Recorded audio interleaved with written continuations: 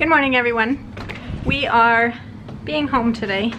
Today's Friday. We originally were supposed to go, wow that was bright, um, to a basketball training thing this morning and they canceled it because of the weather. It's, kind of, it's not raining here but I guess north of us it's rainy but it is so hot outside. It's already almost 80 degrees. Um, so I haven't been out there much today. I may go out this afternoon a little while.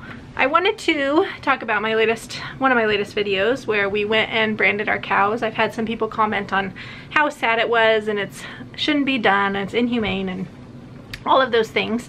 And um, I just wanted to make a few comments about that. I did write back to Jessica. I saw your comment, I wrote you back.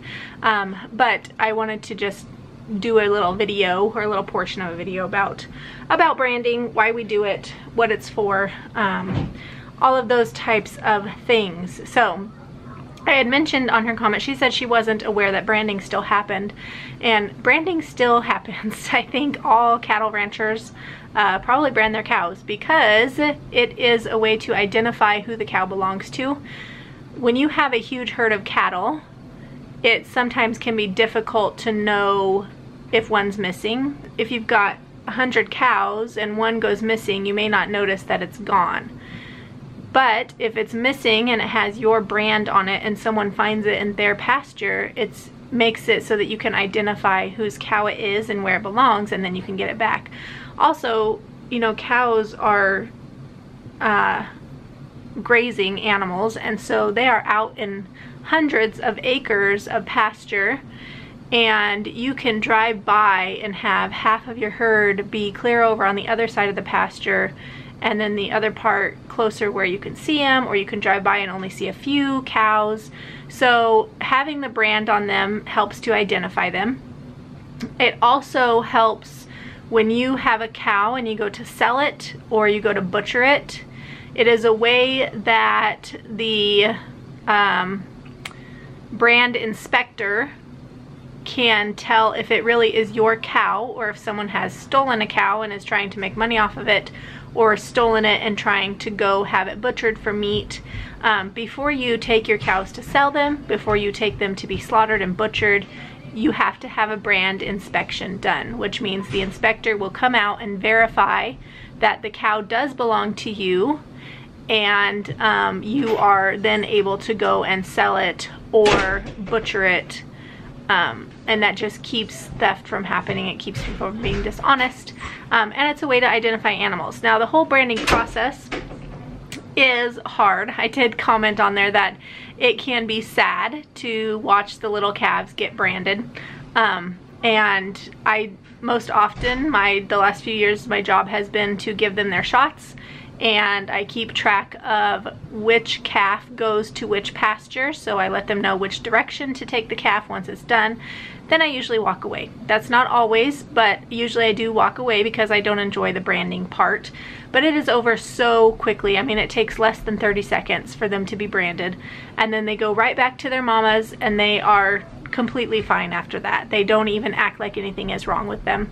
Um, so I just wanted to make a little comment on that while I was thinking about it and know that people who own farm animals who are ranchers and farmers um, I think there's a misconception that they don't care about their animals and that is completely untrue. We have spent, or I know I have spent, uh, many, many cries over animals, over farm animals, and I have had to help my children work through that.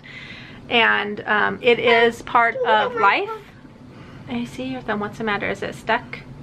Um, this is part of life and it's a lot of people's uh, well-being. They use their farm animals for their income. Um, and so they do become attached to their animals and they take care of them well and they um, are sad when they lose them. My in-laws right now, you saw the goats in the videos and they have lost um, several goats this year. I don't know how many. I know right now they have nine bottle babies because they just lost another goat. They keep getting sick for some reason and they cannot figure out why they're getting sick and it's just really discouraging and it's frustrating and, and so they're having to move the goats to different pastures, trying to figure out why they're getting sick. And that is a hard, hard thing um, because especially with animals that you use to reproduce every year. Hang on, sweetheart uh, you keep them year after year. Some of the cows that my in-laws have are, you know, 13, 14 years old. They've had them that long and you become attached to them. And so when you lose one or one is really sick, it's super hard. When we had goats and my goats got sick, uh, I was just a mess. It was like my kids getting sick and I just couldn't hardly stand not be out there checking on them all the time, making sure they were okay and just worried about them the whole time I was not with them, just wanting to be there to make sure they're okay. So um, farmers and ranchers do care about their animals. And just like with having children sometimes you have to do hard things. Branding is one of those hard things but it's over so fast and it's super beneficial and helpful for the the rancher to the cattle farmer to be able to know which cows are theirs and be able to keep track of them easier. So anyway just a little bit about that why we brand um, I could have included this with the other video. I thought I might get a little bit of uh, pushback or some comments about the branding video, but that is real life for us. That is part of our lives, um, part of a lot of people's lives, branding cows. The way we do it is pretty simple. We just run them through the chute. They get locked up in there. We can give them shots, brand them, uh, all of that stuff.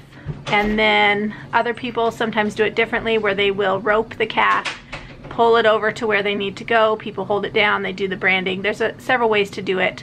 Um, the way we do it is pretty simple and easy and it's, it's I think it's the least traumatic for the calves. So that's just a little bit about branding and uh, why we do it and how it goes. And now I apologize if I was out of focus the entire time. So it happens whenever I try to not look at the screen and I try to look into the camera so I'm looking at you guys then I go out of focus and I don't realize it. So I apologize if that was all out of focus. But today uh, we're cleaning. We have five days before we leave back to Colorado. And we will be gone for several weeks this time. What do you need? No, not a pearl. It looks like a plastic bead out of a stuffed animal. No, it's not. I bet it is. It's not a pearl. Pearls come out of oysters. What are oysters? A sea animal. That's a plastic bead out of a stuffed animal. Um, so we have five days before we're leaving to go to Colorado. And we're going this time. So, In or out? Come on, quickly. Clayton, you gotta shut the door when you go out, okay? We are going this time for my brother's wedding. And uh, then Austin and I are going to go with his mom and dad to Mexico for his brother's graduation from the missionary training he's been doing and then just to see family and visit and hang out there. So I'm trying to get all of our stuff downstairs organized and clean out what we need to take back with us. We've got like a table down there that did not fit in this house that we need to take back and probably some other things but it just needs a good clean and organized down there. So that's what I'm gonna do uh, this morning. It's already 11 o'clock. I slept in this morning. I was very tired from not sleeping well the night before so actually I may eat something, I haven't eaten anything yet and I'm getting hungry. So I may do that and then go down and start to organize everything. My kitchen is a mess. I was, uh, yesterday we went to the rec center. We were there all afternoon and um, I was so exhausted by the time we got back that we did not clean up. We had popcorn and leftovers for dinner. So the kitchen's a mess this morning. What? Um, so anyway, I need to clean the kitchen up. But I need to get something to eat first. I just tried to take a drink of my coffee and my hand was shaking, so I definitely need to eat something. All right, I have these. We literally have like zero leftovers in our fridge, so I have some of these uh, bacon cheeseburger meatballs I'm gonna put in my air fryer and that's what I'm gonna have for lunch. I'm probably gonna add one of my little like uh, ham and egg and cheese cups in there for a little variety, but I gotta start these first.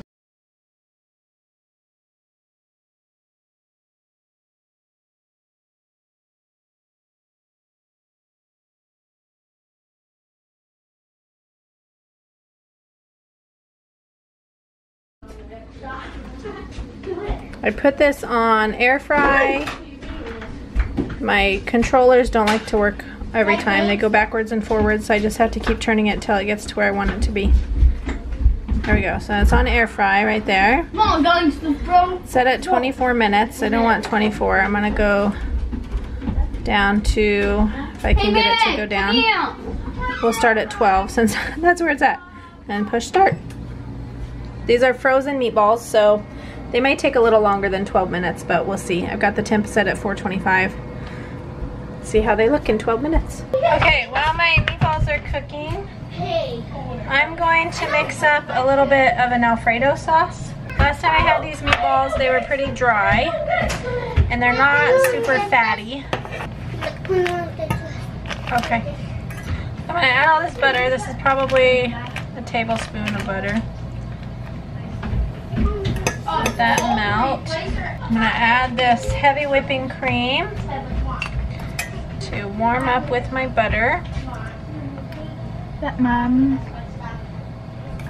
I'm gonna let that heat up. And then I have some of this Parmesan cheese. And I found it in the freezer. I'm gonna add some of that in there. And put that with my meatballs.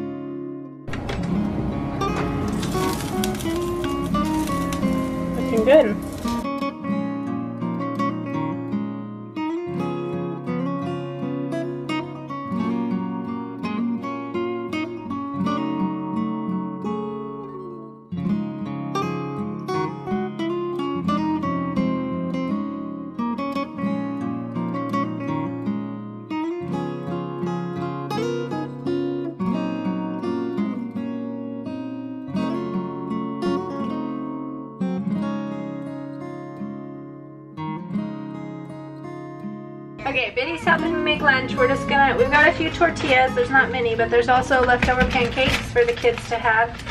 So we're gonna make a few quesadillas Mommy. with what we've got here. Mom, can you tie it? Yep. And Clayton's helping. Okay, Clayton, What is it dog?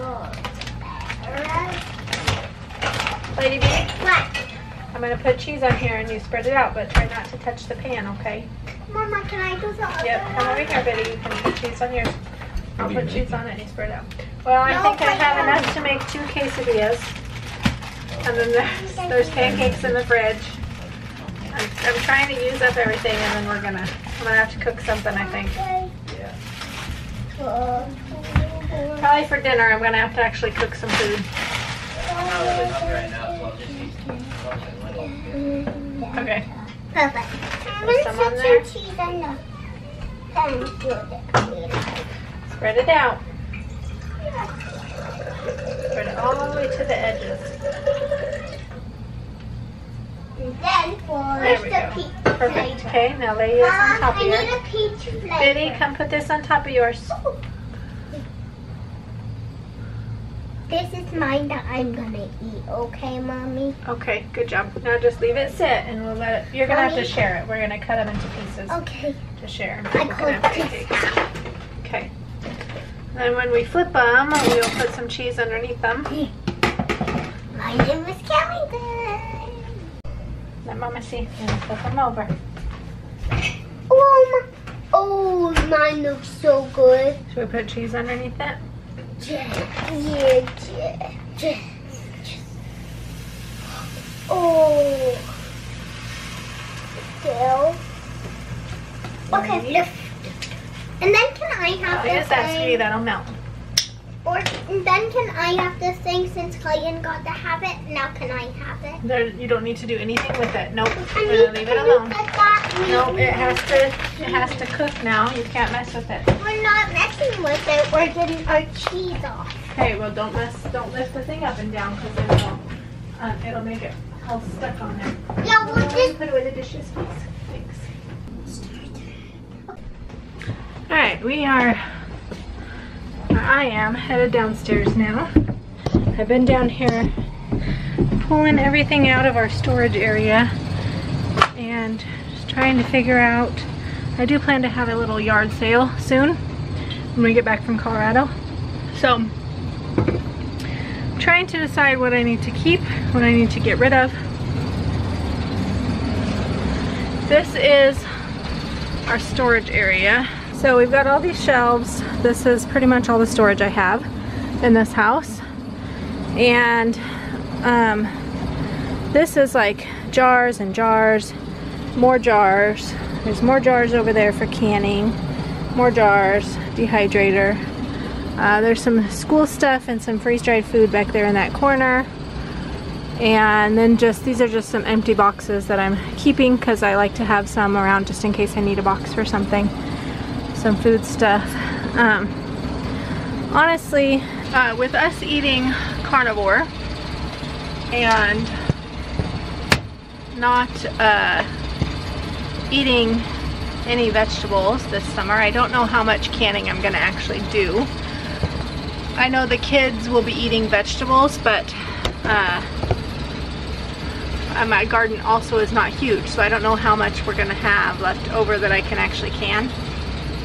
But I am going to leave this stuff here anyway. I'm not going to take it back to Colorado just in case. And um, now what I'm going to do is hang the stuff that's on this hanger thing um, onto hangers. And then I'm to start going through the kids' clothes. We just went through and organized their summer clothes and their winter clothes. I'm to do that and try to fit stuff back over here that I need to put over here. But I'm not motivated to do this today. I'm feeling quite lazy and tired. So I'm not in the mood to really do this, but I'm gonna do it anyway. I'm forcing myself to get it done. So this is the all the clothing that I pulled out of this back here. I've got two suitcases, which one is Merrick's, the other one's ours we're gonna use in a few days, so I'm leaving those out. Over there is all the shoes. Some other stuff that was back there. This is stuff that was back there, which I'm not even sure what's in that box. I need to look and see. Our little cooler. And then this is the little blue couch, which I'm gonna sell. It's got all the rollerblades on it. And those are Nerf guns. So I'm trying to figure out how to organize this stuff well back here. When we go to Colorado, we're gonna be take, excuse me, taking this with us. This is a coffee table that came with our dining room table. It had a broken leg when we opened it, so this is the leg to replace it with. But there's no room in this house for this table. So what we're gonna do is just take it back to Colorado and leave it in our Conex for right now because we don't know where we're gonna be in the next, after being here for seminary. And maybe in a next house we will have room for it because it is useful, it would be useful to have it. It holds the leaves of our dining room table. Um, we just don't have room for it here. So we're gonna take it, that'll make a little more space right here.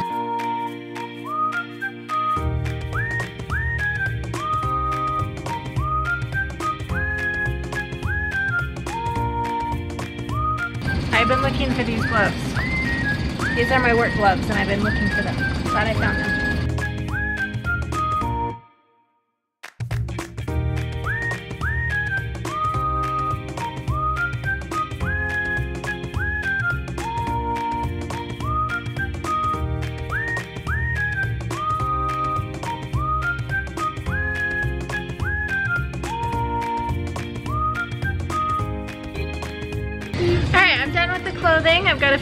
For a yard sale and fit the rest of them over there.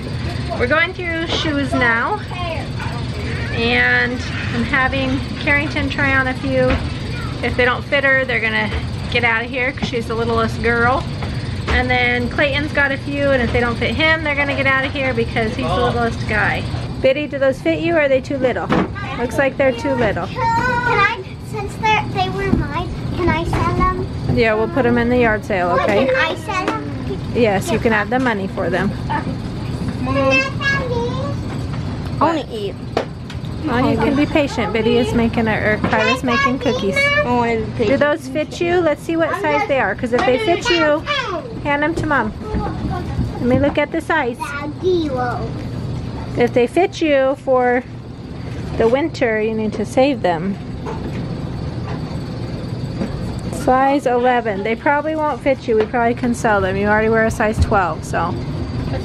Yeah, if you're not going to wear them. Alright, for dinner tonight, we are having, or the kids are gonna have spaghetti. We've got some noodles, we've got some sauce, and some ground beef. Kyla's getting ready to pour the sauce in for me. And then I'm gonna cook up this uh, breakfast sausage that I have thawing in my sink. And in my refrigerator, I have some of these the egg, cheese, and meat cups that I made the other day. I'm gonna warm up a couple of those to have with some sausage. And that's gonna be our dinner for tonight. All right, we are done with dinner for the night. We're gonna go outside, hang out for a little while. I think kids are all getting their bikes out, so I think I'm gonna get my bike out. Might go for a little ride with the kids just to get some exercise today since I haven't done much of that. But thanks for hanging out with us. I will see you guys all next time. Bye-bye.